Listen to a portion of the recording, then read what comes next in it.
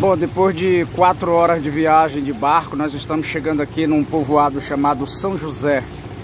Aqui é a região de Garimpo. Mas aqui ainda não é o, o nosso destino, aonde a gente vai lá para o setor lá do Porto Rico. Primeira parada depois de quatro horas de barco.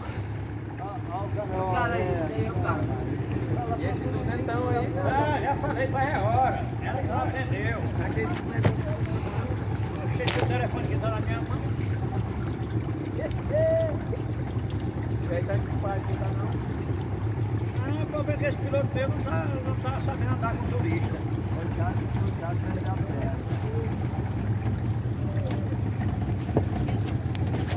Eu vou usar um lugar bonito.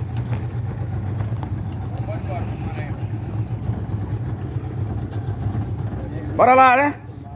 Obrigado aí, seu Piauí, pela colaboração da gente fazer essa, essa filmagem. Meu amigo índio, beleza?